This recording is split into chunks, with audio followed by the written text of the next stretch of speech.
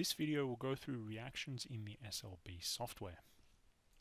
With the analysis complete, we can see that there are two types of reactions that can be viewed, static reactions and area reactions. So for this particular very simple slab, we have a longer span and a shorter span, and we can display the various results for the given load case or combination. So no live load applied, and for the load combination. Now, what static analysis means, this refers to the fact that the stiffness of the, the structure that is modeled is being taken into consideration when determining the distribution of forces. So we can see here a total force of 1044 kilonewtons distributed in this manner um, in across the vertical elements, across the walls.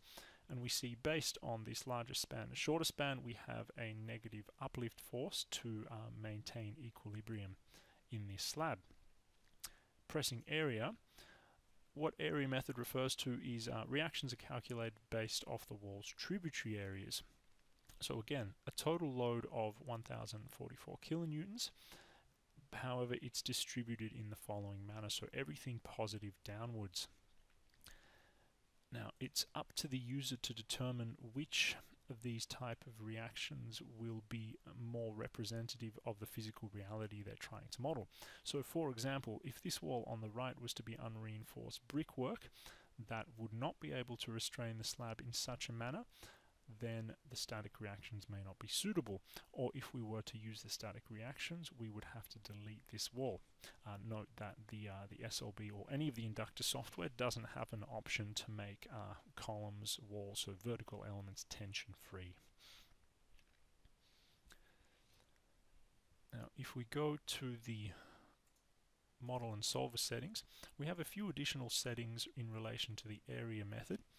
So what wall subdivision refers to is that for every wall element, just for calculation of tributary area method reactions, we subdivide the wall into segments. This basically switching this on means that the uh, the area method reactions calculated for the walls will be more accurate, but will take a little bit longer to do. So this should always be on, as the results will be more accurate. What the distance weight refers to is um, when there's a transfer load, how much of that load goes to cl the closer supports and how much of that load goes to the supports further away. So it's it's shown with pictures in the manual, but it basically that that's what it determines. In this example, it won't make a difference. There's no load transferring from above, but if there was, we would determine the distribution um, of that force to closer elements or to elements further away by adjusting this distance weight factor. Now we may have noticed the screen change there. Uh, this is because this particular image was stitched in after the initial screen recording. Uh, this was for the addition of the improved load distribution uh, tool for area reactions. What this does is basically for some cases, for symmetrical cases, uh, sometimes the reactions for area method produce funny or strange results, so they don't match the hand calculations, so meaning there's not a symmetrical distribution of the tributary area and hence the reactions. This is caused by uh, the finite elements not being symmetrical, so because of the predefined rules of the triangular shape, there's they're slightly skewed, sort of, so there's more area coming down onto one column or wall and less onto the other uh, hence the reactions don't make sense. Switching, switching this button on performs additional checks which will distribute these reactions in a more realistic manner, so this, what will match the hand calculations closer. So for more examples on this, please refer to the user manual.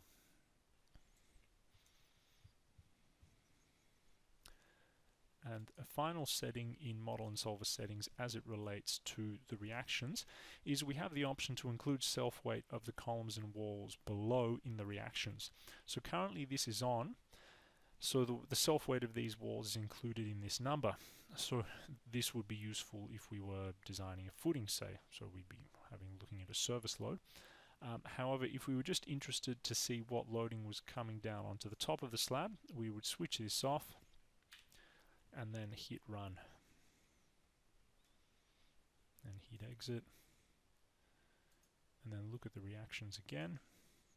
We see that the values are a bit smaller than they were previously. So the total force now has dropped down to 720.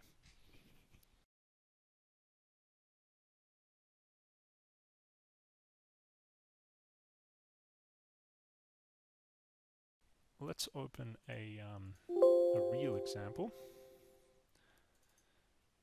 and talk about a few things that we need to consider.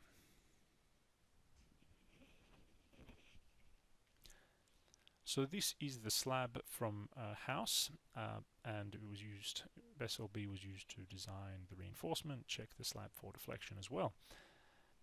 This particular job had a few stories, was multi-storied, and it was designed just in the SLB software. So typically for multi-story buildings, RCB should be used. And the SLB software can handle buildings up to two, three stories max. How we design multi-story buildings in SLB when SLB only considers one floor at a time is that basically we start from the top floor, run our analysis, we then export our reactions, so we choose either static or area. We then model the floor below, and then we choose to import the reactions from the floor above. So again, we're not, by doing this method, we're not fully considering the stiffness of the frame. Obviously, we can't apply any lateral loading because the SLB software restrains the slab.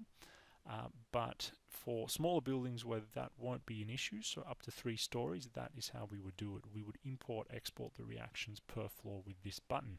Now, other things to consider with these with these smaller residential slabs, we talked about it before.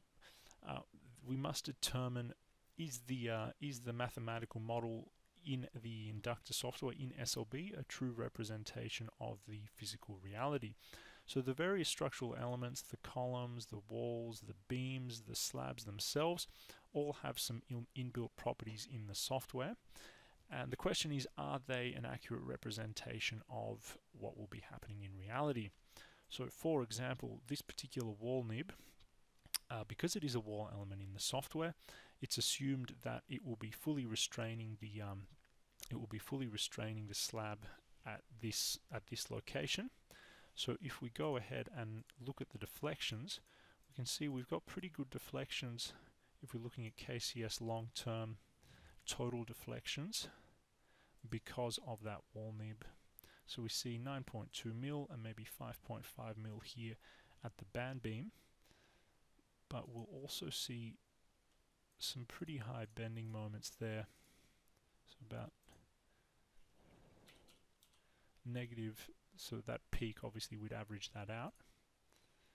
So negative 650, positive 209. Now, if this was, for example, reinforced block work, unreinforced brick, it may it will not be able to provide that level of restraint. If we look at the static reactions, we see that we get, for the ultimate case, a very high reaction in that in that particular wall. Whether or not it has the capacity to take that is another question. So if we open up the the next file where we delete it, we'll, we'll see how it compares. So looking at the deflections for the 50% KCS long-term total, we can see the deflections will now be worse. So it's gone up by about a factor of 2 at the midspan of this band beam. And again, the differential displacement is still about in the order of 4-5 mil but total deflection is much worse. And we should see the bending moment here, and hence the reinforcement has um, basically has gone down at this location as well. So we wouldn't have to design. Obviously, the wall may be there in reality, but it probably it will not have the effect that it did in the previous model. This may be a more accurate representation of the bending moment, and hence the reinforcement we need to detail. So Yes, the, the, the point of this small example was to show that we always have to consider is the mathematical model in the INDUCTA software in SLB and true accurate representation of the physical reality of the, of the physical reality we're trying to model. So will it behave in reality as the way it has been modeled in the software? So in summary, we had a look at the static reactions and the area reactions. We saw that the two different methods can produce sometimes very different results and it's us up to us to determine which of the two methods is more suitable.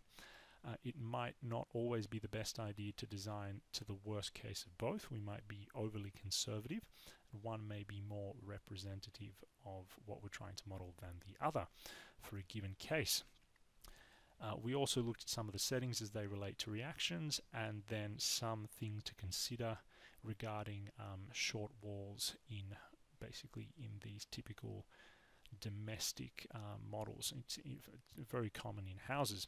And we also saw how to import export reactions from an SLB file into another SLB file.